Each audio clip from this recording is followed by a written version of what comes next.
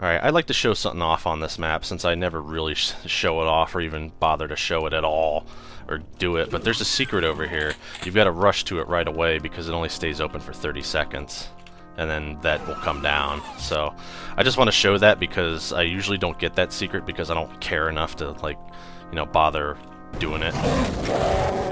Because at the end of the day it is just a little bit of ammo, but it does exist, so that was my purpose for showing that.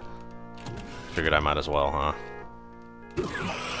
Usually the first thing I do is kill the Arachnotron towards the start there, get that whole sequence of events going. Here's another usage of uh, waiting for Romero to play the music, and I would say that's one of the more nostalgic tunes for me in this game, because it uh, reminds me of, again, like I said when Sparks was with me, it reminds me of fourth grade and not wanting to do my history homework, because um, I really hated that history class. It was one of the first classes I ever really, really struggled with in school. Because I just, I just didn't get it. You think I would get it, but I just didn't. A lot of that shit didn't make sense to me, and the teacher wasn't, uh, wasn't too kind either. So that's probably another reason why it was as difficult as it was. Okay, I want that to open so I can do that. I didn't kill all of them. That sucks. Um, now that I think about it, I would like to go back to the mod talk a little bit and talk about um, Doom the Way id Did, that series that started back in, uh, it started in like 2008, I think, but um, it was released in 2011. What Doom the Way id Did is basically exactly what it says on the tin. Mappers try and emulate the style of um, the mappers and its software and try to make maps that could basically be passed off as maybe a an alternate reality version of Doom. And I really like the concept because, um, you know, Doom's maps are timeless. I mean, some of them are kind of pissy and bleppery and shitty and pooey, but, you know, like John Romero's uh, Episode 1 maps, a lot of people will agree that those are some of the best maps ever produced for a first-person shooter. You know, John Romero's got a very distinctive style that just works really well with a first-person shooter. So, to emulate that style and make maps with it, you know, that's really cool. And um, that's basically the aim of Doom the Way id Did, is to try and emulate John Romero and all the other mappers. You know, Sandy Petersen, American McGee, Tom Hall, even though he didn't do too much mapping. Stuff like that. And it was it was a really cool wad. It was one of the more major releases of 2011 that uh, went over extremely well. You know, people loved that and um, I concur. I played through a like a beta version when it was like at the time that it was new, and I really enjoyed it. I thought it was pretty cool. Um, but it turns out the beta version's a lot different from the final version. I mean, obviously, but a lot of maps were swapped out. So I ended up playing the final version uh, last year, around this time last year because I was trying to take. I mean, I was I was busy with Doom again, but I was also trying to take my mind off of a, a few things that were happening at that point in time.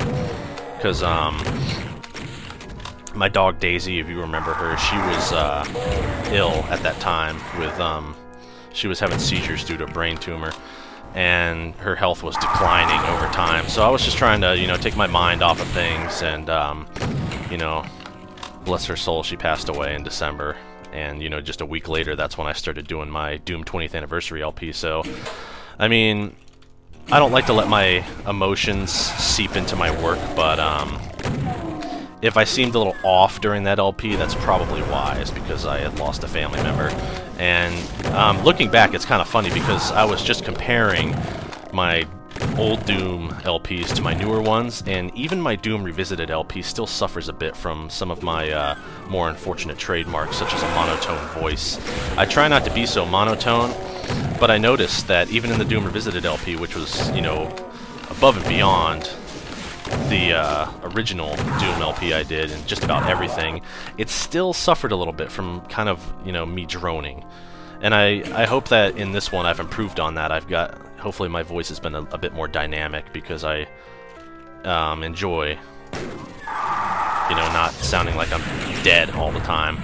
And I think what what might have helped a little bit is that um, using Skype has become almost like a permanent fixture in TG, you know, my circle of friends there, and I have no idea how I'm going to get out of this one. Oh, here we go. I'll just do this. I really hate when I get like a million Revenant rockets following me and I can't do shit about it. It sucks. kill these dudes.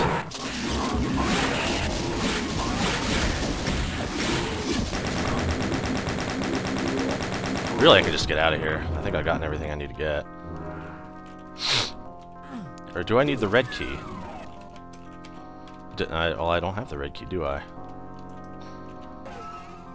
Oh, that's right, it's over here. Duh. I'm silly. You have to forgive me for being kind of silly. Yeah, see, situations like that, I just use the BFG. The rocket launcher does work pretty well, but I just prefer to use the BFG to try and really clear things out. But to get back on topic with um, Doom the Way id Did, I played through it, and it, it, really is good. A lot of the maps do resemble, um, uh, you know, John Romero's style amongst, you know, all the other mappers. I keep saying John Romero, but he, I mean, he really is like the key mapper. You know, he was fantastic. Alright, fuck this room.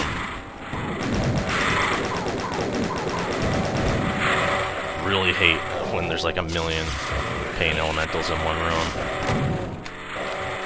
I just wanted to kill these guys because you don't have to open that up, but I figured I would just to show it. Because why not? I've become a little more lenient towards showing things, even if I don't particularly like them. And you go down here, you can get teleported up there.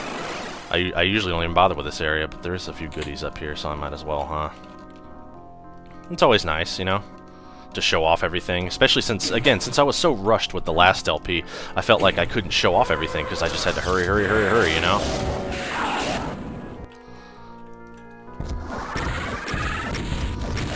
Kill that dude.